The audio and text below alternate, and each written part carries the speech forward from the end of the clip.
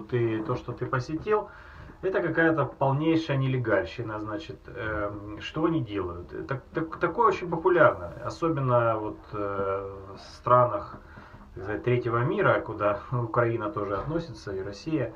То есть они людей затягивают на какие-то арабские работы, делают им туристические визы, потом действительно селят в этих бараках, Э, там трехъярусные кровати, и люди работают. Э, Я понимаю, да, что но, но не, не, но не за 100 долларов в Нью-Йорке невозможно жить, невозможно, это уже обман. Это уже обман, понимаешь, что либо это будет хлев, просто-напросто какой-то неотапливаемый, вот, потому что даже если ты вот в квартире, допустим, комната, она стоит 700 долларов, и ты берешь место в комнате, это 350 долларов, вы вдвоем живете. Ну не бывает чудес просто-напросто. Опять же, заплатите там нам 300 долларов или там 200 долларов, и мы вас трудоустроим. Это тоже обман. Это 100% работа только по туристической визе. Вот, поэтому встречают, да, окей, ну встретили, привезли в этот хлев, потом отправили на работу за 5 долларов в час, понимаешь? Конечно, люди со временем э, понимают, там, некоторые через месяц убегают оттуда. Вот. Окей, хорошо. Ну да. Ну, для меня самое важное, это вот, э, я не знаю, что там с Мариной, Марина очень быстро соглашается, и она действительно к таким тонкостям не сильно, не сильно любит вот эту ясность всю.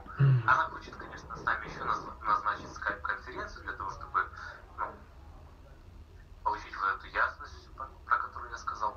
А суть в том, что вот у Екатерины, у нее фирма работает хорошо. Она действительно человек, э, который понимает, что она делает, и у нее, соответственно, и запросы по отношению к партнеру.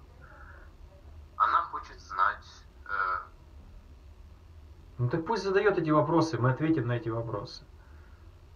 Но мы не делаем, мы не делаем то, что я, вот то, что я, ты мне сейчас сказал. Я хочу получить эти вопросы, ответы на эти вопросы в письменном виде, э, чтобы э, потом передать ей, и чтобы потом прийти рассказать, как это все функционирует. Ну, в письменном виде я не готов писать, потому что мне нет времени. Я могу, опять же, скайп-конференцию. Готовьте вопросы, сделаем по скайпу, я отвечу еще раз на, на эти вопросы. Пусть включат диктофон и запишут.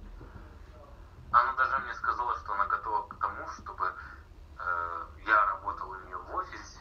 От, э... Ну так иди к ней в офис, садись и начинай работать. Но давай только работать профессионально, легально а не как э, предлагают там компания, в которую да, ты ходил. Так, нас все профессионально. Ну, так начинаем, так съезжай к ней в офис и, и давай начинать. Что тянуть? Что тянуть? И делать нормально все. Хорошо, еще есть вопросы какие-то у тебя?